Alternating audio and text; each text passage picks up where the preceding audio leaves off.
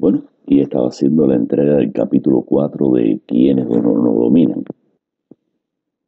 Un interesante segmento de nuestros análisis que nos va llevando a buscar la esencia mínima, la esencia misma del dominio mundial.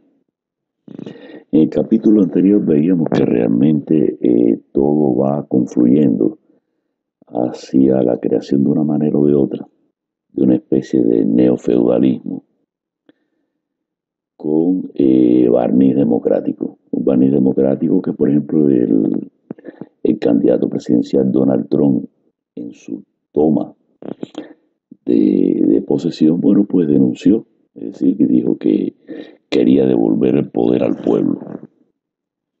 Y quería devolverlo porque claramente el poder hace rato que no está en manos del pueblo.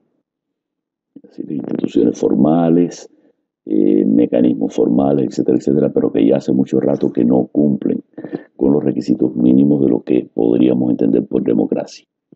Y aún viéndose en Estados Unidos grandes diferencias eh, desde el punto de vista de las libertades, ¿no? Y se nota que hay unas libertades excepcionales, eh, no es otra cosa que el rezago de algunos momentos históricos en que eso se conquistó. Pero eh, claramente todo eso de una forma de otra, estas fuerzas ocultas lo quieren revertir.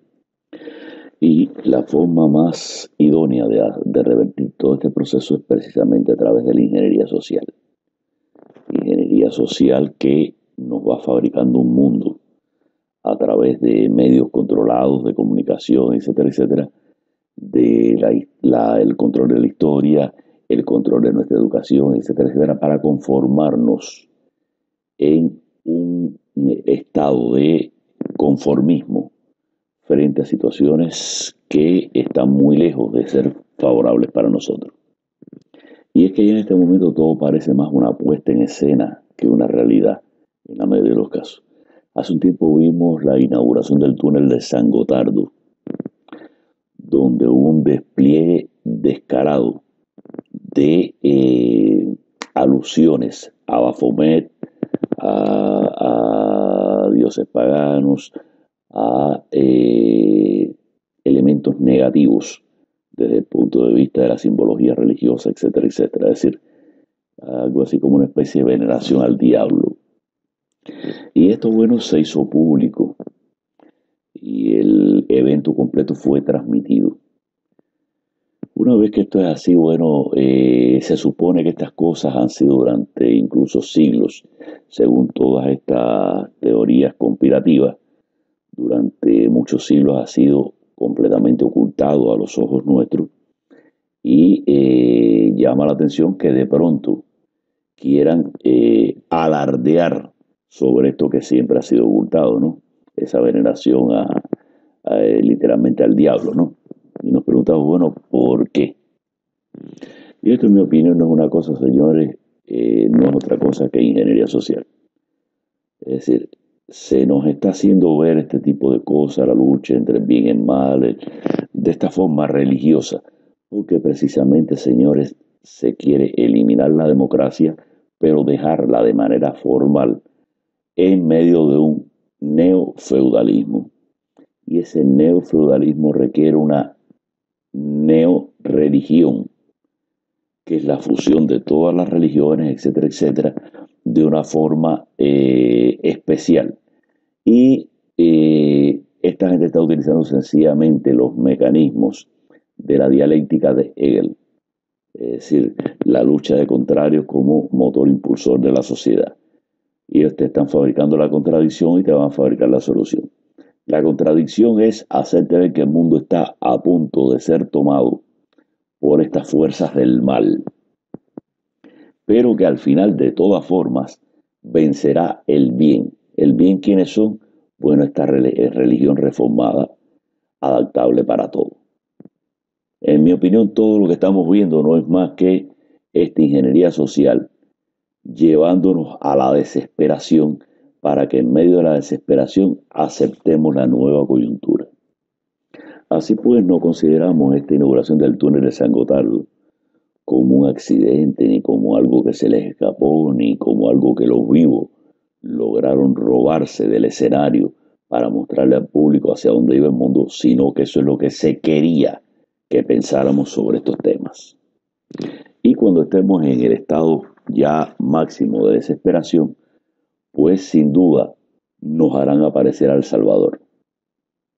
Es decir, todo esto que es una guerra religiosa absurda, completamente absurda desde el punto de vista de los tiempos, de hacia donde se suponía que la humanidad iba, no es otra cosa que una puesta en escena para que terminemos aceptando esa religión universal. Todos los despropósitos, desmanes, todos estos absurdos de ideología de género, etcétera, etcétera. Toda esta ideología de género, todas estas cosas, señores, es tan absurda que está claro que el hombre medio jamás la va a aceptar. Pero bueno, está puesta ahí, está programada que esté ahí, porque esa es la base de la contradicción. Es decir, se nos va fabricando como que este mundo absurdo está triunfando y que hace falta poner un orden. Y ese orden es precisamente el que ya está planificado que va a ser. Y la pregunta es la siguiente, señores. Eh, ¿Puede existir o se requiere que exista un orden nada más que en medio de una religión? ¿Son las religiones las únicas que pueden inculcar valores en la humanidad? ¿O sencillamente las filosofías o los desprendimientos científicos pueden también inculcar valores éticos y morales? Sin duda, en sus momentos cumbres, la humanidad elaboró filosofías, no religiones, filosofía, que era de una forma o de otra el explorar los mismos campos que la religión ya tenía copados, pero desde el punto de vista científico. Y está claro una cosa, el método más perfecto que ha elaborado la humanidad para el control social son las religiones, cualquiera que sea. Pero bueno, las religiones han llegado incluso al extremo de hacernos ver que eh, cualquier pensamiento de nosotros puede ser leído por el creador. Fíjense que esto dista mucho del comunismo. Por ejemplo, el comunismo, de forma represiva, puede hacer que nosotros no emitamos nuestros criterios porque seríamos condenados, pero no nos puede impedir que pensemos. Estos sistemas religiosos han llegado al punto de hacernos creer de que nuestros pensamientos pueden ser leídos, lo cual en última instancia hace que nuestros propios pensamientos fiscalizados por nosotros mismos puedan llegar a ser un delito aún para nosotros mismos. Sin dudas, eh, la invención de la imprenta fue un elemento trascendental en la historia de la humanidad que propició la difusión a escala nunca antes vista de la cultura. Y entonces está claro, y no es coincidente, no es casual, sino una necesidad que en esos mismos momentos que las ideas comenzaron a difundirse apareciera la Inquisición. Y ese mecanismo de terror logró durante mucho tiempo retrasar la difusión de las ideas aún con la imprenta pero no fue indefinido. En algún momento esto explotó y la humanidad llegó a un estadio superior en cuanto a sus conocimientos. Como parte de esa evolución, al final eh, surgió, aislado ya de Europa en un nuevo continente, una nueva promesa de libertad, igualdad, fraternidad, pero de forma real, no lo que hubo en Europa. Y eso fue los Estados Unidos, es decir, se cimentaron condiciones eh, imprescindibles para el desarrollo de la humanidad como un todo y las libertades del ser humano.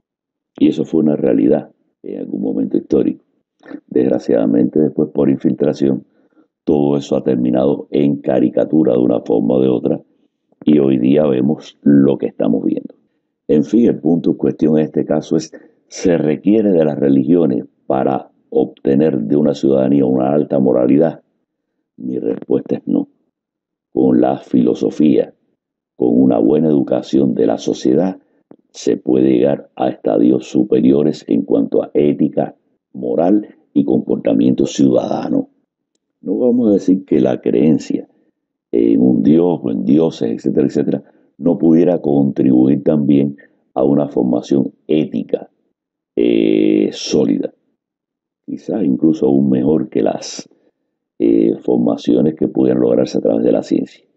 Pero pueden estar seguros que la ciencia daría suficiente terreno, especialmente en el ámbito de las filosofías, que son ramas eh, científicas, pero no sólidas, sino más bien de opinión, para lograr consolidar estructuras ético-morales suficientemente buenas como para garantizar el comportamiento adecuado del ciudadano. Así pues es cierto que para la formación de una sociedad sana se necesita la influencia de esos mecanismos, ¿no? Eh, sean por una parte religiones, pero religiones, estamos hablando sanas, no religiones que intentan eh, llevarnos a la esclavitud, sino religiones sanas. Y por otra parte, eh, buena educación con buenos puntos de vista filosóficos darían exactamente el mismo resultado de una forma o de otra, con la diferencia de que esas formas eh, serían eh, estructuradas a través del mecanismo científico del razonamiento, del convencimiento y no de la fe. En fin, no estamos hablando nada malo de las buenas religiones, estamos hablando en todo caso de las religiones que sirven para maniatar a los pueblos que han servido o han sido instrumentalizadas como elementos de poder y no como elementos de salvación para el ser humano.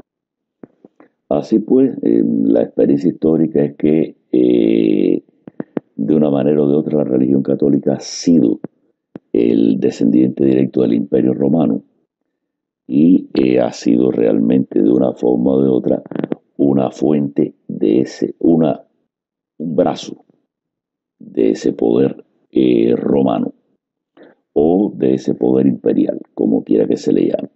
Por supuesto, todas las cosas evolucionan, todas las cosas llegan a la modernidad actual y ante tanta información y tanta evidencia, bueno, pues eh, las cosas se transforman. No queremos decir que lo que una vez fue tenga que ser lo que venga, pero sí tener presente de que hay fuerzas muy interesadas en destruir la democracia y llevarnos a formas oscurantistas nuevamente.